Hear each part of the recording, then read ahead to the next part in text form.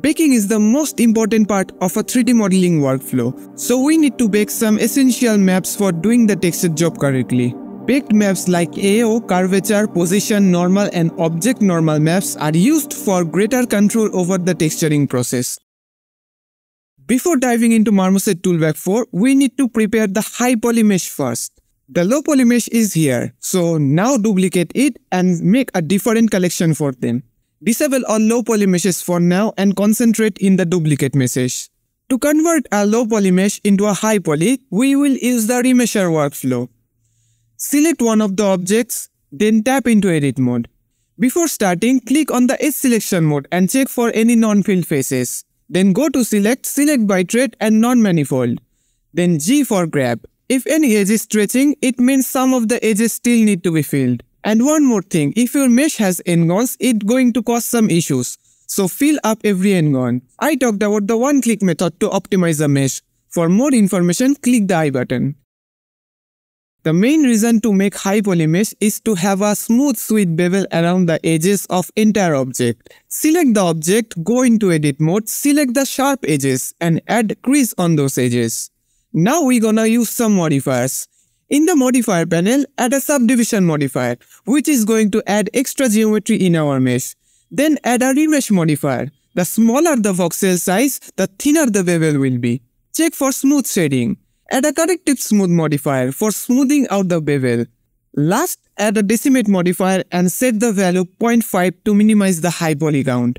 The only downside is that this is a hardware intensive process so it takes a while to calculate everything. For shorter bevels, you could use the bevel modifier but sometimes it causes shading artifacts when clamp overlap is unchecked. We have to rename our meshes so that toolbag will understand which is low poly and which is high poly. Select low poly then underscore low at the end of the name. As well as with high poly, select and rename underscore high. The names of the objects should be the same whether they are high poly or low poly. After renaming, select only the high and low poly pairs and export as FBX. Check selected only. We are now in Marmoset Toolbag 4 and now we can start the baking process. Start a new baking project and load the exported model. You can toggle the H and L button to see both of meshes. Then in output, select 16 samples, format 16-bit channel and in texture set, you can crank up the texture resolution. After that, we have to check the boxes for the essential texture sets. And those are normal, normal object, curvature, ambient occlusion. And from configure, we need to select one more and that is the position and hit bake. After the baking is finished, click this append button to see if the meshes are baked correctly or not. You can rename objects in an automated way. Click on edit and then batch rename. Select the set name from dropdown, add a suffix and type the name. Naming convention is the most important thing about the Marmoset toolbag. If the names of low poly and high poly meshes are not matching, it gonna cause huge baking artifacts.